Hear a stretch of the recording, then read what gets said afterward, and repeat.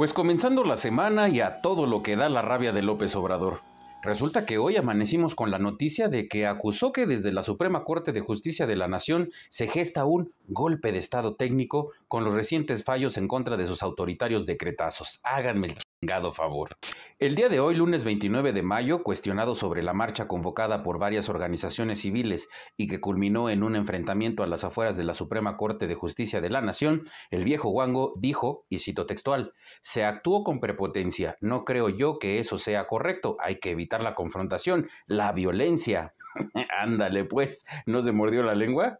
Asimismo, destacó que fue un exceso el uso de la fuerza por parte de los ciudadanos a favor de la Suprema Corte y la ministra Norma Piña, y que fue debido a que, según él, no tienen la capacidad de convencer.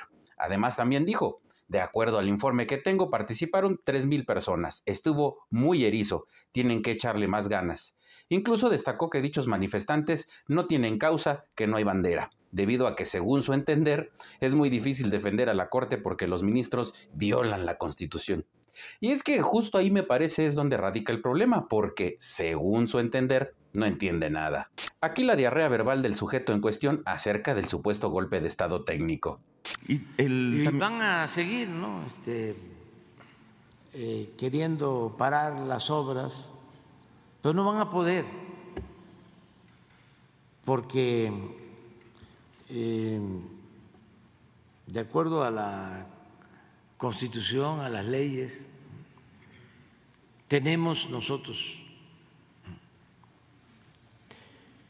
el derecho de hacer, obras en beneficio del pueblo.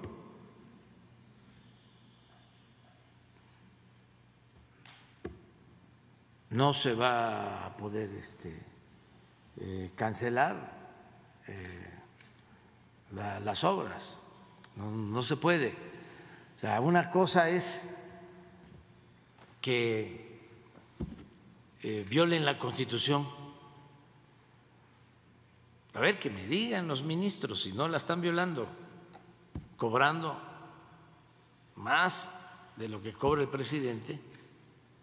Y otra, pues, es ya querer dar un golpe de Estado neutralizando al Poder Ejecutivo. O sea que ya no ejecutemos nada. Es cancelar un poder. Sería un golpe, un golpe de Estado técnico. Lo anterior con respecto a la reciente suspensión definitiva que impediría la tala y desmonte en los tramos 3 a 6 del tren Maya. Y es que recordemos que la semana pasada la Suprema Corte invalidó el decreto de López Obrador por el que pretendía clasificar como de interés público y seguridad nacional los proyectos de su administración y detallaron que esta resolución surtirá efectos sobre las secretarías que son parte del Poder Ejecutivo. El ministro Juan Luis González Alcántara Carrancá, quien estuvo a cargo del proyecto, señaló que el acuerdo presidencial es inconstitucional porque su amplitud y ambigüedad obstaculiza e inhibe el acceso a la información de toda la ciudadanía respecto a las obras del país. Pero a ver, hagamos una pausa. A todo esto, ¿qué chingados es un golpe de Estado técnico? El golpe de Estado se define como una violación y falta de reconocimiento hacia la legitimidad constitucional, ya que atenta contra las reglamentaciones legales de llegada y permanencia en el poder. Es posible distinguir entre dos grandes tipos de golpes de Estado.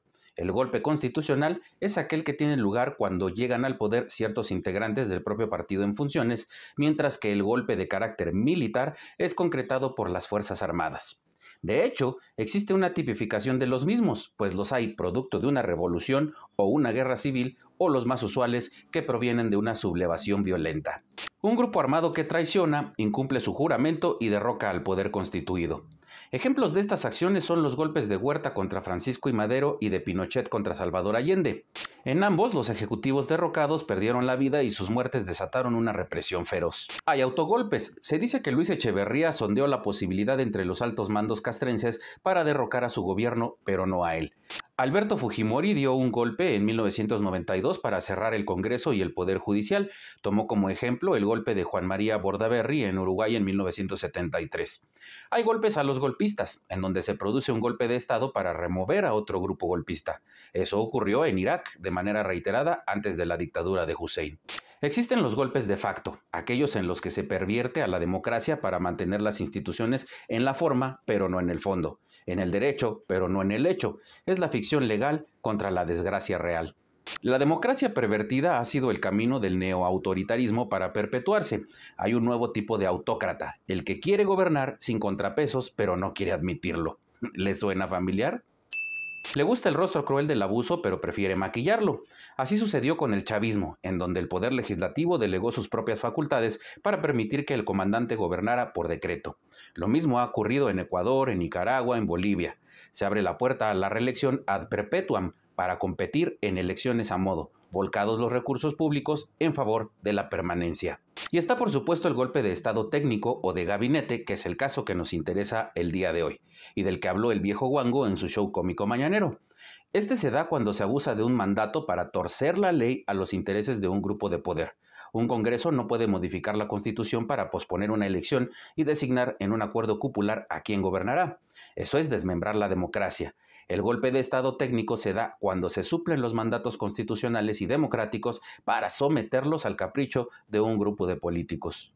Las cúpulas políticas traicionan a la sociedad cuando llegan al consenso privado para suplantar el voto público, cuando pretenden sustituir el proceso democrático por la negociación oscura, cuando se arrogan el derecho de definir unos cuantos el futuro de millones. No. No puede haber gobernantes designados, solo en aquellas hipótesis que prevé la Constitución. Cualquier otro intento tiene un nombre preciso, golpe de Estado técnico. De tal forma que esa sarta de estupideces que vociferó el anciano delirante no tiene nada que ver con un golpe de Estado técnico. En tal caso, el que sí pretende dar un golpe de Estado técnico es el mismo. Por cómo están sucediendo las cosas actualmente, todo indica que el gobierno del viejo Wango no está dispuesto a someterse a los parámetros de la democracia. De ahí su intención de desaparecer al INE, anunciar con tanta antelación a sus corcholatas y quebrantar las reglas de equidad electoral, al mismo tiempo que tener el control del proceso electoral desde sus mañaneras y queda más claro que la intención de López Obrador es desacreditar y minimizar al máximo a los partidos de oposición, así como a los posibles candidatos con miras a contender en el 2024 por la presidencia. Esta misma estrategia ya cuenta con un precedente y es que es la misma utilizada por los golpistas chilenos en su momento. Y se trata de la propaganda desmedida de la 4T, las promesas del bienestar, la aparente legalidad libre de toda corrupción, la intentona de prolongación del mandato y supuesta defensa de las libertades, así como de los derechos humanos, pero condenando al mismo tiempo a periodistas y medios de comunicación, etc. El remedio de presidente señala las marchas, no le gustan, se dice agredido y de manera constante viola el artículo 6 de la Constitución, que dice textual, la manifestación de ideas no será objeto de ninguna inquisición judicial o administrativa. De ahí que el discurso desacreditador de López Obrador es evidentemente autoritario, peligroso y su especial inclinación por el ejército sin duda recuerda el golpe de Estado en Chile. En el supuesto que Morena perdiera las elecciones de 2024, ya está todo establecido y bien peinado para dar un golpe de Estado técnico paradójicamente, a favor de sí mismos. Esto ya sucedió en Venezuela y Nicaragua. Sería un golpe blando a modo y cubierto por lo que los gringos llaman lawfare o guerra judicial, que se refiere al mecanismo aparentemente democrático y apegado al Estado de Derecho mediante el cual se reeligen los gobernantes o mantienen en el poder a su partido. Es el uso de las mismas estrategias y tácticas castrenses, pero con la diferencia de que en este caso es con el propósito de mantener en el poder al partido oficialista de tal manera que las elecciones de 2024 se llevarán a cabo de manera normal, pero no hay duda alguna que López Obrador y sus lacayos, así como sus fanáticos, no reconocerán el triunfo de otro candidato que no sea el de Morena, de tal forma que se desplegará toda la maquinaria del Estado antes, durante y después de la jornada electoral a fin de que Morena se quede en el poder. Dicho de otra manera, se trataría de un golpe de Estado técnico con toda la intención de acechar, amedrentar y amagar a la población con rumores e inculcando el voto del miedo. Se trata, como su nombre lo dice, de algo técnico que evite de ser posible el derramamiento de sangre, pero recurrir a la violencia de ser necesario. ¿Ven? Por eso digo que aquello del golpe de Estado técnico aplica para él y no como trata de acomodarlo en contra de la Suprema Corte. Quizá me equivoco, y por el bien de nuestro país, de nuestra libertad, de nuestra paz y de nuestras familias, de verdad espero que así sea. Recuerda que puedes hacer tus donativos vía PayPal. Encuentra la información respectiva en la caja de comentarios. Gracias a ti, este canal sigue activo. Muy importante suscribirte, dar like y presionar la campana para recibir notificaciones cada que hay nuevo contenido. Gracias.